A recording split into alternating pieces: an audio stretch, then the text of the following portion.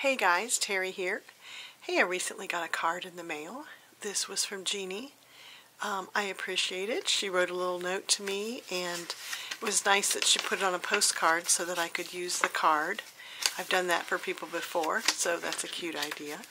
So she, um, I ordered some close to my heart product from her and she sent me that. So I thought that card was so pretty.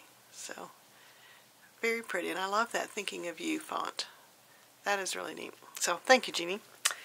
And uh, it is time for SheetLoad of Cards.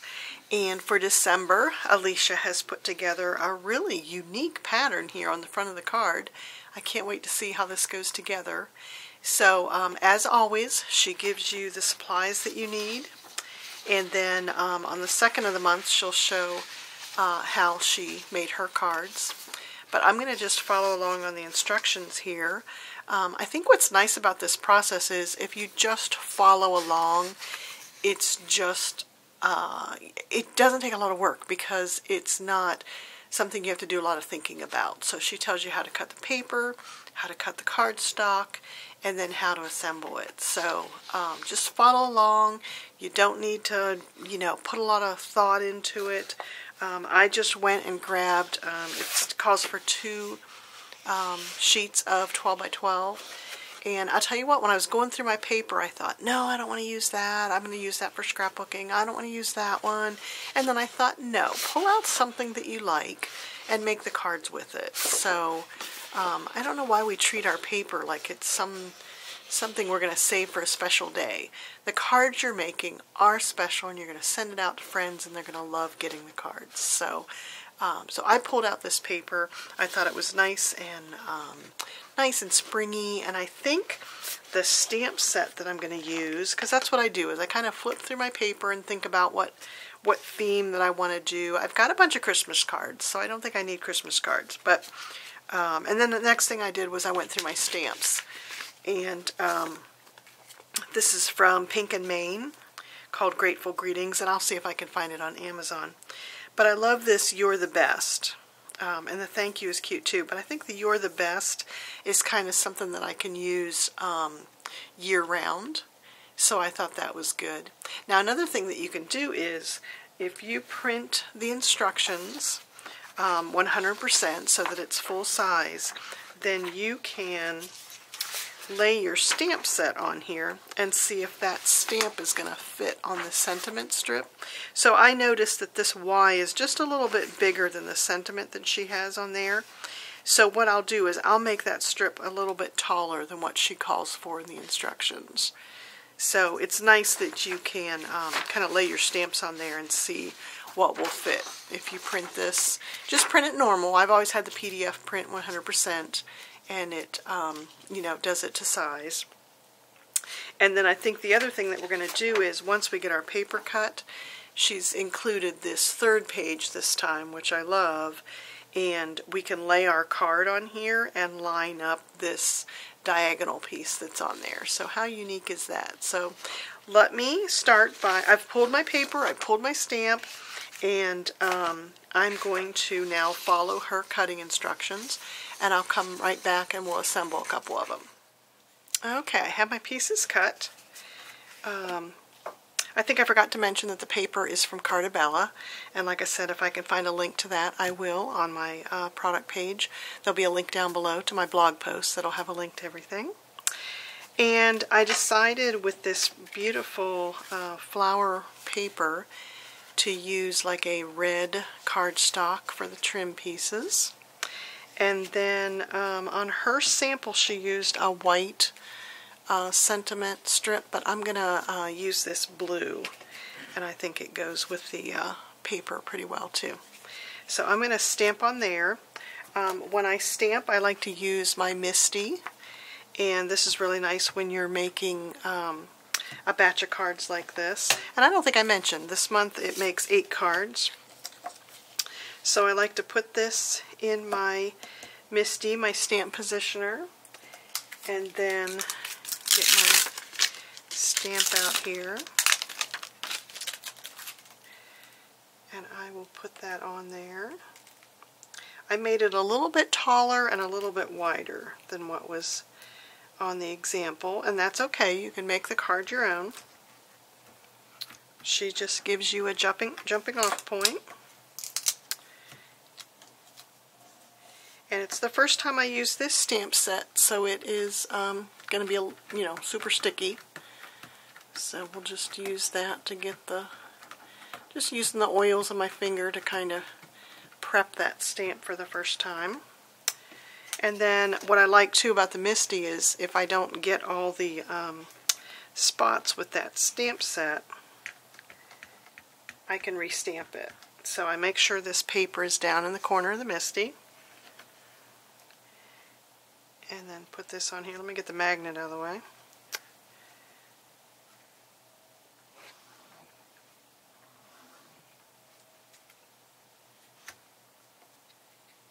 There we go. That looks really good. So that's going to be fun, and I think it'll uh, go with the colors on that paper real well too. Okay, the MISTI makes really quick work of that, so got those ready. Okay, and then if you've watched my videos before, you know that I like to use a stamp chamois to wipe the stamps off. Um, this will um, really clean the stamps off well. And I had someone ask me a really good question. She said, does this stay wet? and I keep it in this plastic case so it'll stay wet for like uh, this evening as I'm working on my stamps. So um, I get it wet when I start to craft and I have it in here and it'll stay probably wet all day um, but I do open this up and let it dry. Um, I don't think anything would happen to it um, but I do like having it in this plastic case. And if you're using a wooden stamp, you can also just open this up and, and clean off that wooden stamp on it. So the plastic case comes in handy. So let's start assembling the cards. And like I said, I can't stress enough to watch uh, Crafty Al's um, videos. On the first of the month, she shows uh, what her card pattern is like. And then on the second of the month, she shows um, how she assembled them. And there's always some tips and pointers that she that she gives us. So, okay, so now what I'm going to do is I'm going to refer to her third page where she lines up that last, this one here, where she shows us how to line up that diagonal. And I also have my card bases made out of my 110 pound cardstock. Uh, you don't have to use something that thick. Um, it's just something I, the way I started making cards was with this, this um, thick cardstock. So I've kind of gotten used to it. Um, it's a little bit hard to fold in the middle, so I do use a um, score pal to score it, and then um, they're folded nice. So I recommend that. But our cards are going to look like this. We're going to have the um, colored cardstock and then our printed first printed paper and then we're going to have our diagonal and the coordinating cardstock. So that's going to go on there. And the idea is that this is going to go diagonally across the card. So she shows us where to cut on here. So I'm going to follow those instructions to cut it in half. And then we put it on the corners of the card, as you can see on here. So she has made it so that you can lay your card on here and use this as the pattern and then lay your um, cut piece and line it up there. So you'll have one in the top corner and one in the bottom corner. And then in the end it'll look like, like this. And then she gives a little idea here of adding some type of embellishment. And then of course I've got my uh, sentiment strip that's going to go across the bottom there. So I love the colors of these papers. I love the flowers and I love the yellow and then I think these all coordinate. So let me get a couple of them glued together and show you what they look like.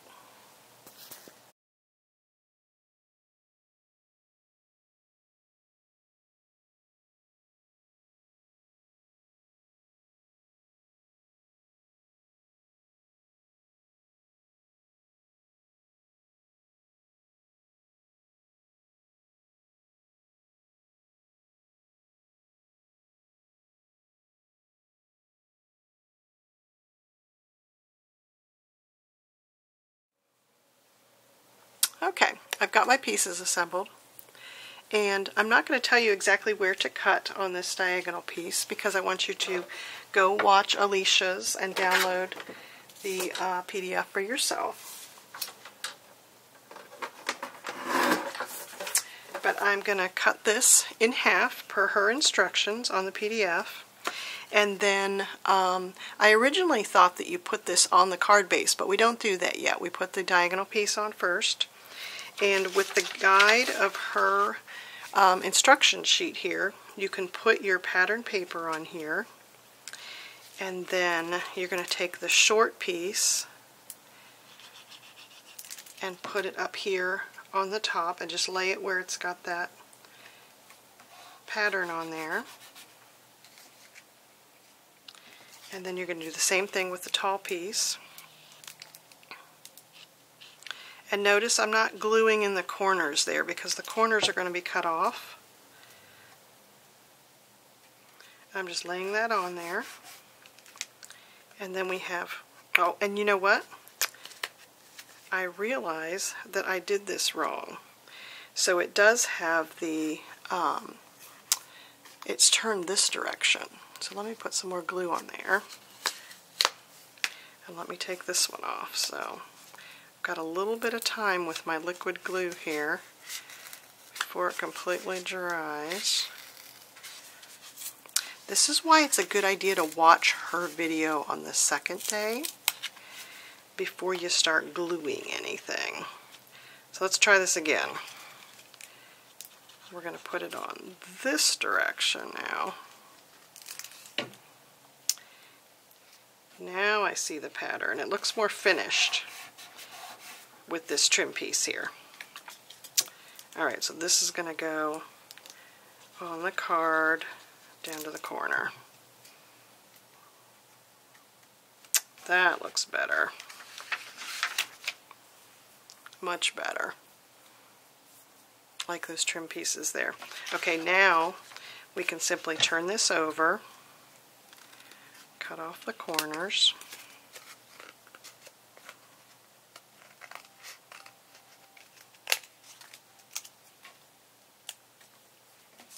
Made those a sticky mess. You can avoid the sticky mess by not putting glue all the way down on those corners. Okay, and then this will be the piece that you glue onto your card base. So, let me put the glue on and we'll see what this looks like. And I'm just leaving a little border a little white border around the pattern paper. Okay, and then we'll put the sentiment strip here at the bottom. And that's what that looks like. And because we use two pieces of cardstock, you'll have one with one background and one with the other background.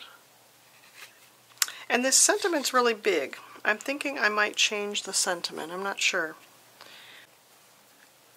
Okay, I found a little stamp set. I think it was from uh, maybe a paper pumpkin Stampin' Up from Stampin' Up. Um, but it's got these nice little small sayings on here. And I decided to use the Thinking of You. So like I said, I used the back of the pieces that I had already, um, you know, cut and I stamped on those and then I used the um, Gina K uh, label die. This was from the Gina K Master Set 1 and um, I decided to cut them with that and then this is what they're looking like. So I like that they're nice and small. They kind of don't hinder the um, diagonal uh, pattern paper that's going across the page there. So I like this, and I like the thinking of you. So that's what I'll use. So, so I hope this inspires you to make a card, a set of cards. Like I said, this set makes eight this month. Find some pretty pattern paper in your stash. Get out two uh, pieces of it. Uh, cut it per her instructions, and the cards go together quickly. So. Um, I thank you for watching. Please subscribe if you haven't yet. I'm trying to get to, to um, 4,000 by Christmas time. And um, I think that's it. I think that's everything I wanted to show you. So I hope you have fun making cards, and I will talk to you soon. Bye, guys.